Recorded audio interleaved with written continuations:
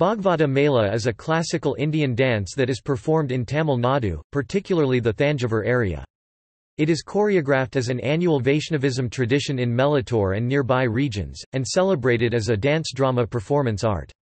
The dance art has roots in a historic migration of practitioners of Kuchipudi, another Indian classical dance art, from Andhra Pradesh to Tamil Nadu. The term Bhagavata, state Brandon and Banham, refers to the Hindu text Bhagavata Purana. Mela is a Sanskrit word that means, gathering, meeting of a group, and connotes a folk festival. The traditional Bhagavata Mela performance acts out the legends of Hinduism, set to the Carnatic-style music.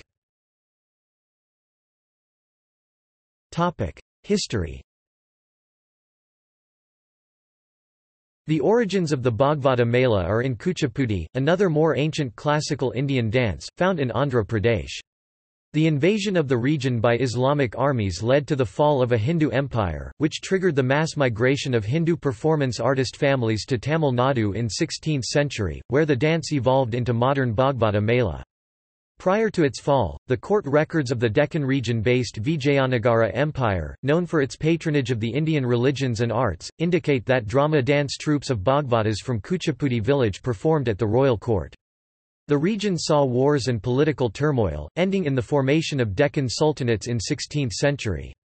With the fall of Vijayanagara Empire and the destruction of temples and Deccan cities by the Muslim army around 1565, musicians and dance drama artists migrated south, and Tanjore Kingdom records indicate that some 500 such Kuchipudi artist families arrived from Andhra, were welcomed and granted land by the Hindu king Achyutappa Nayak, a settlement that grew to become modern Melattur near Tanjore also called Thanjavur. These families maintained their Kuchipudi-inspired dance drama culture, in a form called Bhagavata Mela. Kuchipudi declined and was a dying art in 17th-century Andhra, but in 1678, the last Shia Muslim Nawab of Golconda, Abul Hasan Qutb Shah, saw a Kuchipudi performance and was so pleased that he granted the dancers lands around the Kuchipudi village, with the stipulation that they continue the dance drama. The Shia Sultanate was overthrown in 1687 by the Sunni Mughal Emperor Aurangzeb. In order to regulate public and private morals, as well as end un-Islamic practices, Aurangzeb banned public performances of all music and dance arts, along with ordering the confiscation and destruction of musical instruments in Indian subcontinent under control of his Mughal Empire. The Deccan region saw wars and political turmoil with Mughal imperial expansion ending the Deccan sultanates by the end of the 17th century. During this period, more Bhagavatar community families moved south, invited by the newly established Maratha Rajas in the Kaveri Delta, to settle in and around Kumbakonam. These families maintained their Kuchipudi-inspired dance drama culture, in a form called Bhagavata Mela. Repertoire The Bhagavata Mela is traditionally celebrated in Hindu temple grounds or next to a temple, starting after dusk and through the night, and like the original Kuchipudi artists, male Brahmins were the artists who played the role of men and women characters in the underlying story. Modern productions include both male and female artists, and has evolved to show influences of both Kuchipudi and Bharatanatyam, the main classical dance of Tamil Nadu. Like all classical dances of India, the Bhagavata Mela incorporates sophisticated gestures as sign language combined with intricate footwork and acting to communicate a religious story with spiritual message. These aspects of the Bhagavata Mela have roots in the Natya Shastra, the ancient Hindu text on performance arts. The performance includes Nritta, Nritya and Natya. The Nritta performance is abstract, fast and rhythmic aspect of pure dance. The Nritya is slower and expressive aspect of the dance that attempts to communicate feelings, storyline particularly with spiritual themes. The Natya is a play performed by a team of artists.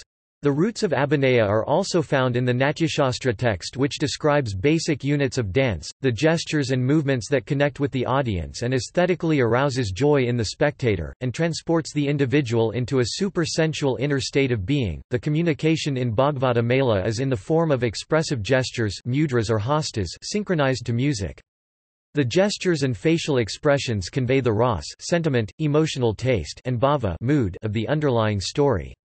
Like other Hindu classical dances, the artist successfully expresses the spiritual ideas by paying attention to four aspects of a performance: angika, gestures and body language; vachika, song, recitation, music and rhythm; aharya, stage setting, costume, makeup, jewelry; and sattvika, artist's mental disposition and emotional connection with the story and audience, wherein the artist's inner and outer state resonates.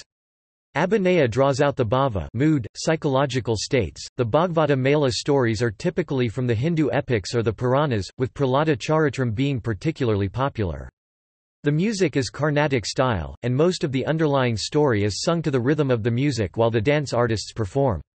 The repertoire is aided by an orchestra of musical instruments, with mridangam drum and cymbals providing the beat, and flute, string instruments and harmonium completing the ensemble. References Bibliography Ragini Devi 1990. Dance Dialects of India. Motilal Banarsidass. ISBN 978-81-208-0674-0. Reginald Massey 2004. India's Dances, Their History, Technique, and Repertoire. Abhinav Publications. ISBN 978-81-7017-434-9. Tarla Mehta 1995. Sanskrit Play Production in Ancient India. Motilal Banarsidass. ISBN 978-81-208-1057-0. Williams, D. R. I. D. 2004. In the Shadow of Hollywood Orientalism, Authentic East Indian Dancing. PDF. Visual Anthropology. Routledge. 17 69–98 doi 10.1080/089494604902740013